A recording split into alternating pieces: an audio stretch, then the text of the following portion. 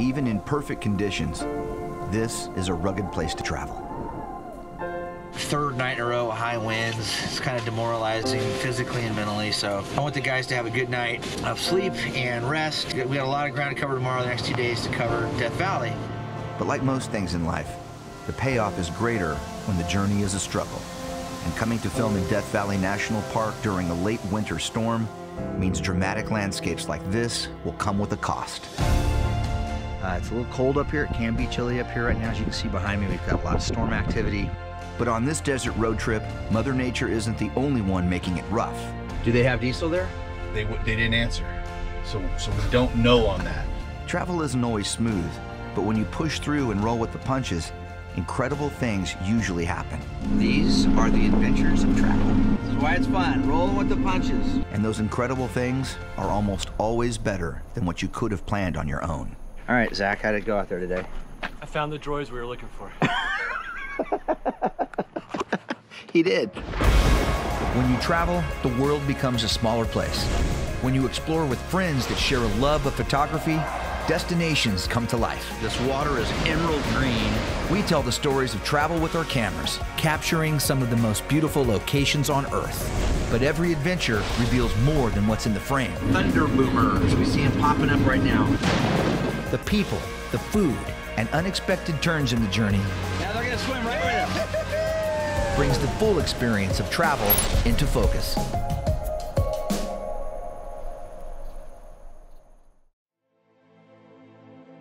Outside Beyond the Lens, brought to you by Visit Fresno County, nature, diversity, found in the heart of California's Central Valley.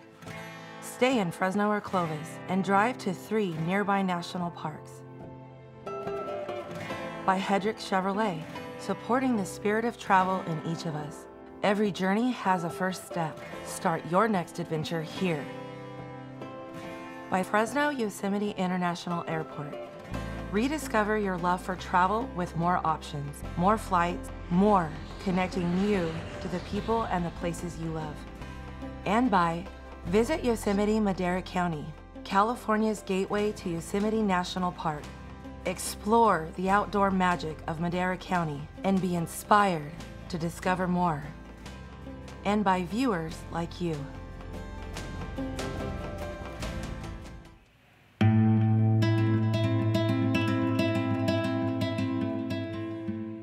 Death Valley may be the most inappropriately named national park in America. This is a place I've visited many times before, and every time I come here, I see a valley bursting with life. I get it. It can be a rough place to skip around when the mercury is pushing 120 degrees, and summer heat here does greatly limit what you can safely do in the park. But if you come to Death Valley any other time of the year and you learn how to take a closer look, you'll discover a landscape rich in everything life is all about.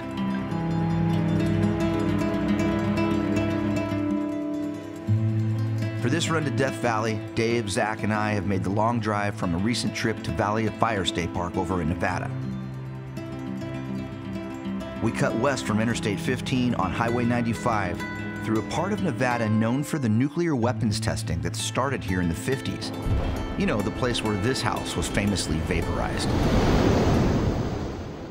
If you've ever wondered what the desert floor where these tests took place looks like today, wonder no more. Google Earth reveals bomb craters scattered across the Nevada test site, now known as the Nevada National Security Site, about 65 miles northwest of Las Vegas. Ironically, on our drive to Death Valley, the intense winds hitting the side of the battle van felt like a bomb blast at times and made for a slightly stressful white knuckle ride. This is not a fun day to drive the battle van or any high profile vehicle. And we're traveling in a day where there's just high winds, there's a cold front kind of blowing over California. It's affecting the part of the state we're in right now. Dave, how strong would you say these winds are blowing? I don't know, man. If I had to guess, probably gusts up to 50 or Yeah. 50, 50 Yeah. or 60 maybe. Starting to pick up some raindrops now on the windshield and uh, closing in on the you know the eastern entrance of Death Valley National Park. Uh, we are not expected to have good weather, so uh, as a group of uh, photographers going to shoot the beauty of Death Valley National Park. Um, it will present challenges which uh, we're going to face and opportunities, I think. You know, when we get a little break in the intense action, you have a mixing sky with dramatic clouds and dramatic desert scapes, it can make for some really good photography. So that's what we're hoping for, but we have to sort of weather the weather.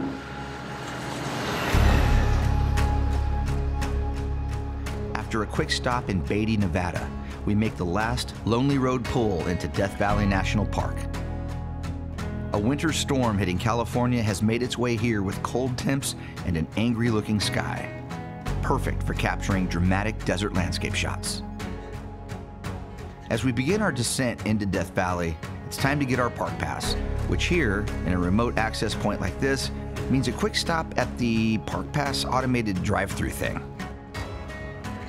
We just got to Death Valley, and Zach Get her, get her pass here. Yeah, Zach has his military. Zach Zach is a former sniper in the army, and so he's using his military pass, putting it in,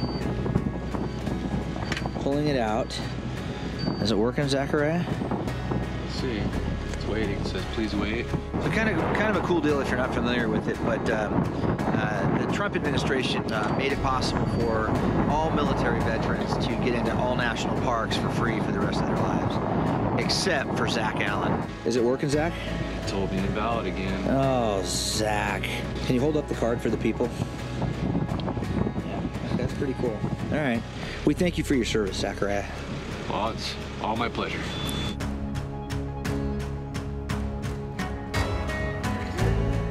I don't care how many times you've been here or if you've never been here before. Actually gazing into the immenseness of Death Valley always amazes. Death Valley is the largest national park in the lower 48 and is the hottest, driest, and lowest of all the national parks in the United States. It's a place where two massive deserts, the Great Basin and Mojave Deserts, meet with more than 90% of the 3.3 million acres of the park protected as wilderness area. And on this day, as we drop down the giant alluvial fans of sediment towards the valley floor, howling winds from the south make it clear shooting here will be no walk in the park. We are facing some really strong winds this afternoon in the valley. It's blowing easily sustained 30 to 40 miles an hour right now. And it's making it hard to get the cameras out of the van. There's a lot of blowing dust. I'm gonna hop out of the van here and let some traffic go by. It's really brutal.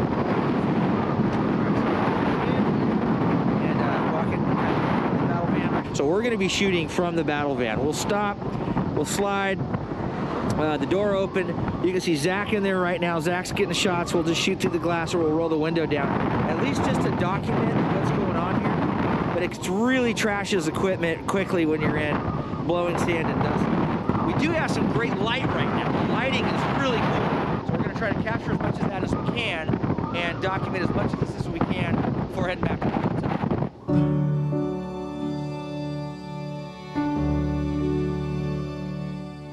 This section of Death Valley National Park along the Badwater Road is lined with many of the park's top attractions.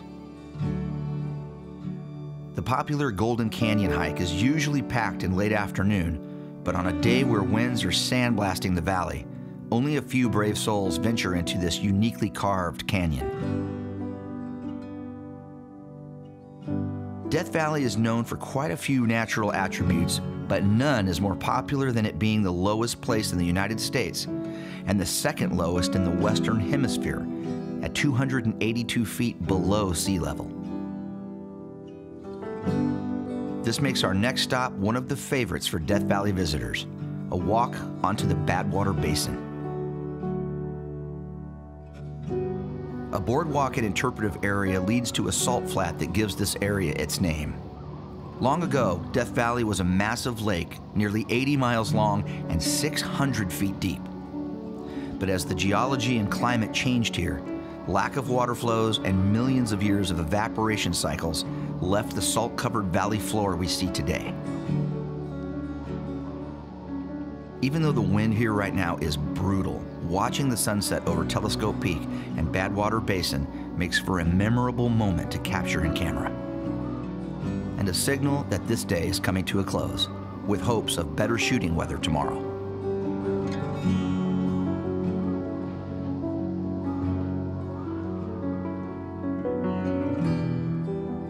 Morning in Death Valley is always worth the early wake up call.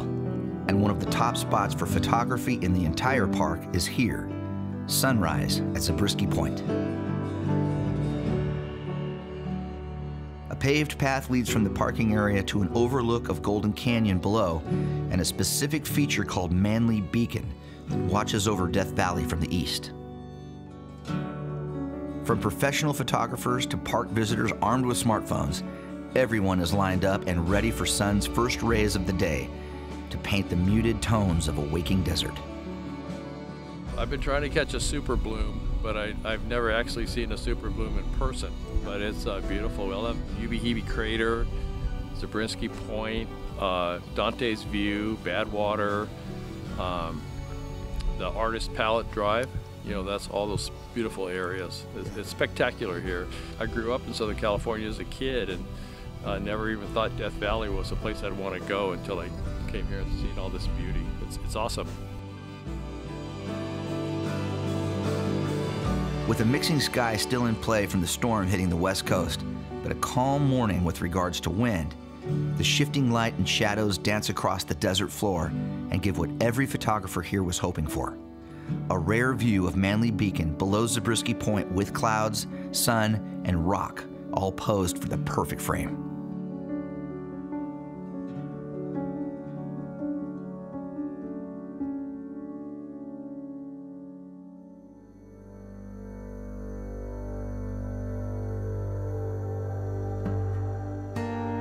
Valley is generally a dry desert landscape where storms are infrequent events.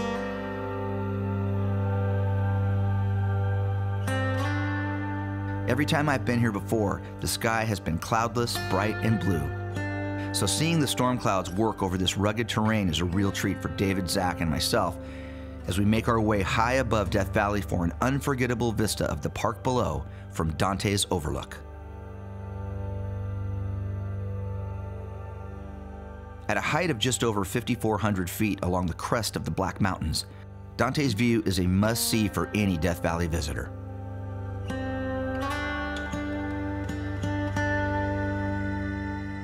All right, so we've had the pleasure of spending about an hour and a half up here at Dante's View overlooking beautiful Death Valley down below. This is really, I've been here probably three times now, four times now. It still takes my breath away. It's a dramatic overlook. It's really high up and really close to the valley, so it's almost like you're looking over a giant cliff down to Badwater below. Uh, it's a little cold up here. It can be chilly up here right now. As you can see behind me, we've got a lot of storm activity. We've got some snow falling in uh, on top of Telescope Peak behind me. But we spent a good amount of time up here, and the payoff on that was that we let Zach Allen set up his time-lapse equipment and Zach found a really cool place to set up for a beautiful time lapse shot with the clouds moving over and the blue sky and the shadows on the desert floor. And, you know, this show is about getting the shots and sometimes slowing things down a little bit, staying for a couple hours up here at Dante's View in the cold is worth it because Zach pulled a beautiful time lapse shot at Death Valley.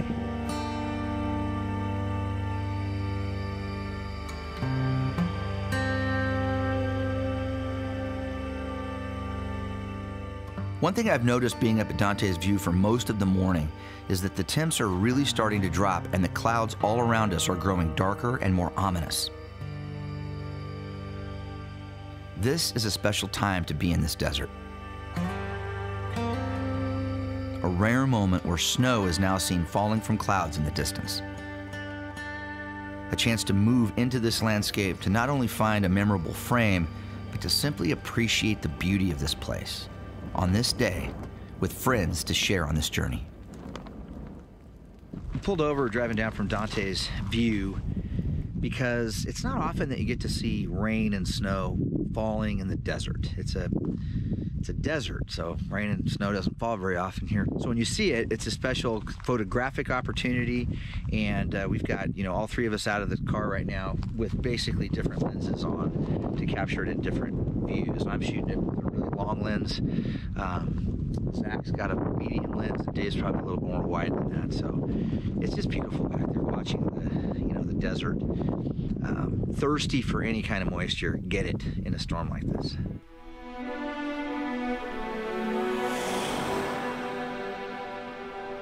Death Valley National Park is big, wide open, and requires a lot of car travel to get to the various stops the park is known for.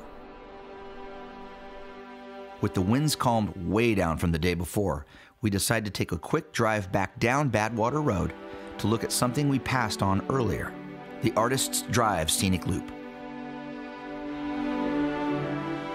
The beautifully paved path winds into the Black Mountains on Death Valley's east side towards an area called Artist's Palette. When you see this for the first time, you'll know why this popular stop got its name. Here, on the face of the Black Mountains, oxidation of the base minerals found in this rock group paint the desert red, pink, yellow, green, and purple. This is also geologic evidence of Death Valley's most active volcanic period. Some 10 million years ago, massive eruptions here deposited debris perhaps 5,000 feet thick. Now, exposed over time through geologic upheaval and erosion to reveal these fantastic colors in an otherwise monochromatic landscape.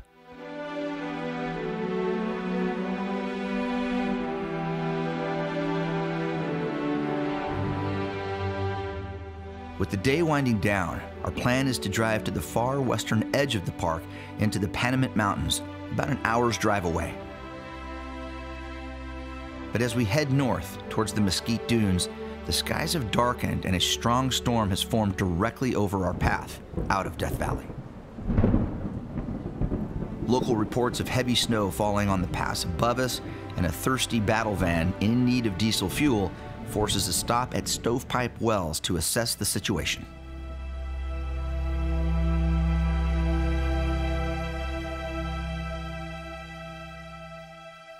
All right, so we're going to chalk this up to a lesson learning opportunity. When you travel to remote places like Death Valley National Park here in California, it's good to know ahead of time where there is diesel fuel. The battle van takes diesel fuel, and uh, we thought I'd been to stove stovepipe wells before. I thought it would have diesel. Um, we passed by the diesel station at Furnace Creek, drove over here. We're you know about a quarter tank left. Get to stovepipe wells in a pretty good thunderstorm and sandstorm, only to find out there's no diesel here. Here comes our guy. Okay, so now we're going to go back to Furnace Creek, where the guy from the, the the gas station here is going to tell us if they have diesel back at Furnace Creek, because we heard that they were out of diesel back at Furnace Creek. So I'm listening right now. Dave's out talking to him. Furnace Creek's out of diesel till tomorrow. I just heard him say it. We would, in a normal situation, just backtrack the 27 miles to Furnace Creek and get diesel and then turn around and come back out. But they're out of diesel in Furnace Creek till tomorrow, apparently. So we're gonna make a plan right now. What did we learn, Dave? Well, the deal is Furnace Creek is out until tomorrow. Okay. Um, Panamints, which is like 30 miles up the road here. Yeah. 30 minutes up the road. He said it's dumping snow really good, so I, you know Do they have diesel there? they w- they didn't answer, so so we don't know on that. He said the third option is to run 30 minutes back up to Beatty, where we came in. And fuel up in They've Beatty. an And, and by the way, it's snowing up there now too. Look. He said it's nothing as bad. as He said that It's snowing really bad here. Well, that's what he said. He just Okay. said the pass isn't as bad um, going back to Beatty as it as it is over here. So whatever that means. Okay. Option D is we just camp here in Stovepipe Wells tonight. You can see everybody looking out there. There's a beautiful, lovely campground um, on a big old flat piece of rock and dirt. And uh, we got a little bit of rain and wind and dust mixed in there too. Doesn't look like the best place to camp, but it, we we're gonna have to make a plan. So um, let's do that. Let's give this some thought, and uh, we'll get back to you on what we decide.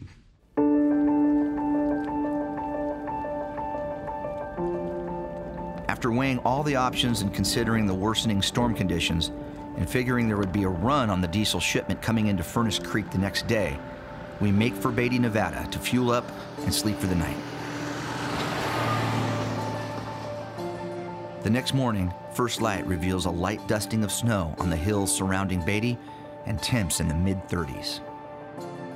All right, good morning from the Motel 6 in Beatty, Nevada, where uh, Dave, Zach, and I stayed last night because the weather was just too nasty to try to camp out.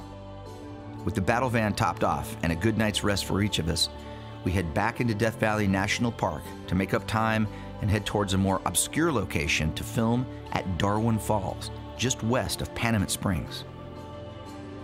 Along the way, the effects of last night's snowstorm are seen as we pass by mesquite dunes. Right now, we're, we're a good mile away from the big the big uh, dune out there, but that See the one with the trail going up, right? yeah Yeah. yeah if you had the one with the trail going up and get that snow and the you know have sand and snow in one frame, Yeah. It'd be pretty cool. A fine grain of each extreme. Yep, that's it. Well, let's go up closer toward the parking areas and see what we think, and we'll take a look at the clock and see what we think we want to do here. Ah, the sun feels good.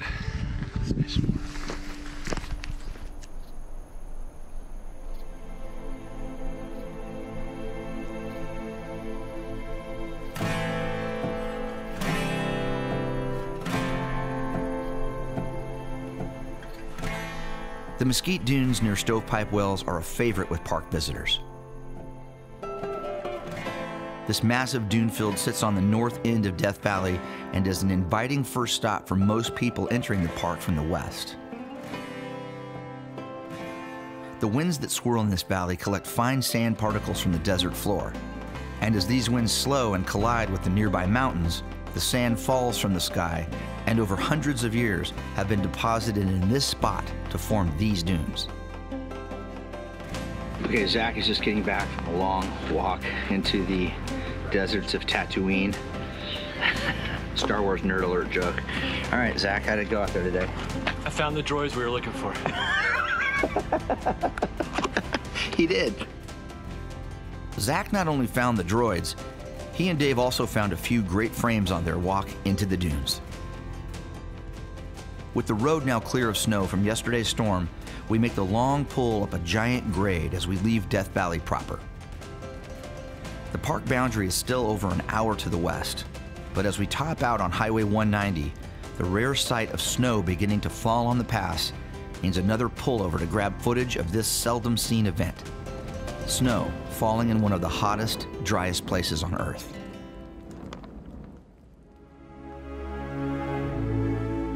Our last stop on this Death Valley road trip is found by taking a pretty rough dirt road that leads to a place where the stark ruggedness of the Panamint Mountains give way to a small oasis hidden deep in a canyon. A relatively flat, one mile hike leads to Darwin Falls, a year round spring and series of cascades that bring life to these arid hills. So if you're hiking through the desert in country like this, where it's just rock and dry and hostile sort of desert environment, and then you were to come and walk into a little canyon where this was, you would be clicking your heels with happiness. Yep. That's deep enough to take a perfect little bath in. Would have been a welcome sight. That's Zach? for sure. I've been wanting to tell you this the whole time. You could use a bath. Finally get in there. Why there. don't you get in there and knock the big chunks off, buddy? As these canyons narrow, trees, grasses, and more pools are encountered on the final push up to Darwin Falls. I've been lucky enough to visit a few natural oases in my days, but have never seen this kind of life literally thriving in a desert as rough as this. Our last few steps to the head wall of the canyon frame Darwin Falls as it cascades 20 feet to the pool below. Darwin Falls is the perfect way to reflect on a trip that tested all of us. The perceptions of a destination never before visited are often reset after you see them for the first time. Death Valley National Park is a place that may seem barren, hot, and devoid of the things that usually draw people to wild places. But actually immersing yourself in this landscape and feeling what it can do to all your senses will leave you a little surprised, a little awestruck, and definitely wanting to come back for more.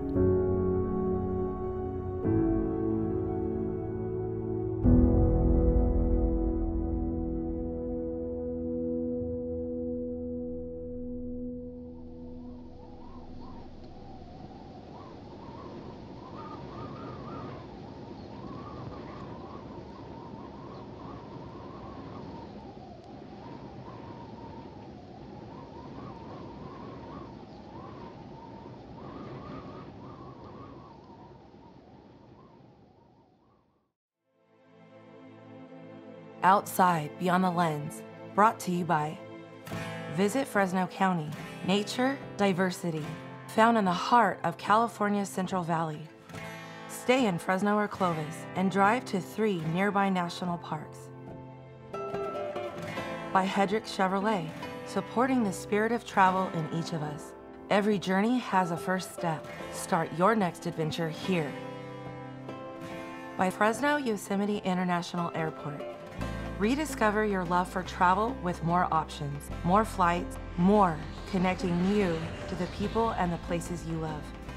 And by Visit Yosemite Madera County, California's gateway to Yosemite National Park. Explore the outdoor magic of Madera County and be inspired to discover more. And by viewers like you.